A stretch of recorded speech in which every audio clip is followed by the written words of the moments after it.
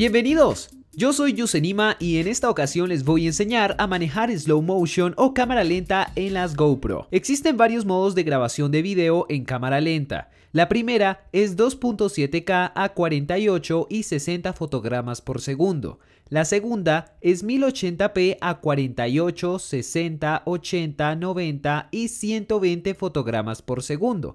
Y la tercera es 720 a 60, 100, 120 y 240 fotogramas por segundo.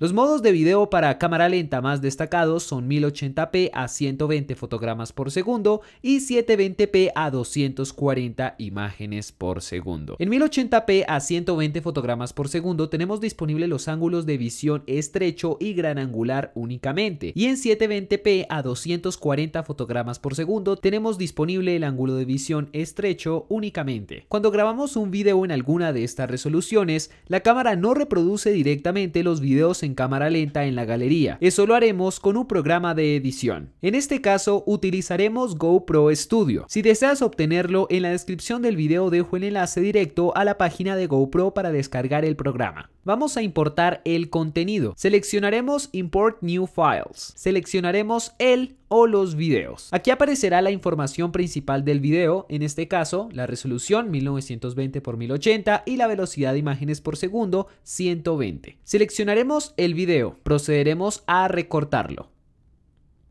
Una vez lo hayamos hecho, convertiremos el video para realizar otros ajustes. Seleccionaremos Add Clip to Conversion List y Convert. Esperaremos. Seleccionaremos Proceed to Step 2.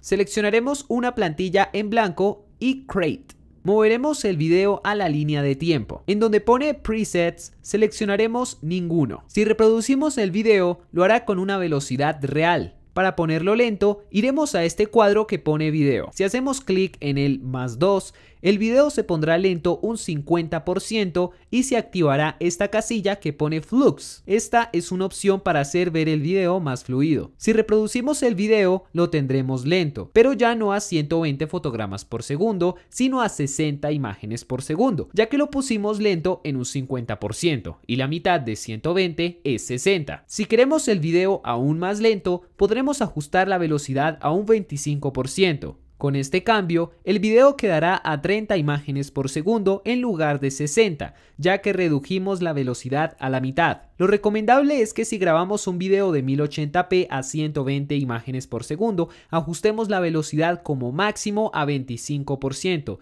ya que si nos pasamos de este número, el video ya no se vería tan fluido.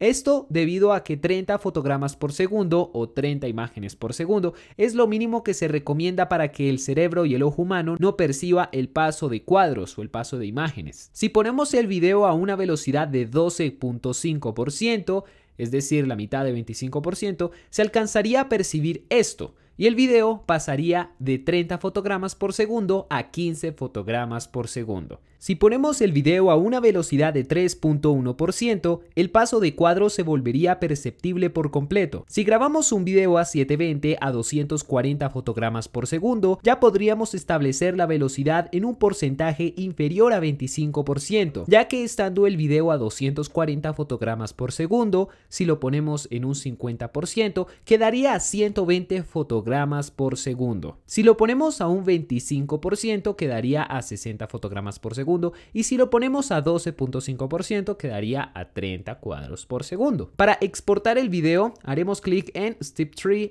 Export. Le pondremos un título y escogeremos el lugar donde queremos que se guarde el video. En donde pone preset, escogeremos la resolución del video en HD a 1080p. Activaremos el flux para que se vea fluido el video y por último, export. Espero que hayan aprendido algo nuevo en este video, si les ha gustado por favor puntúen positivo, comenten qué tal les ha parecido este video y qué otro tip quisieran ver en este canal. Suscríbanse para futuros videos de la GoPro. Recuerden, yo soy Yusenima y nos vemos en la próxima. Hasta luego.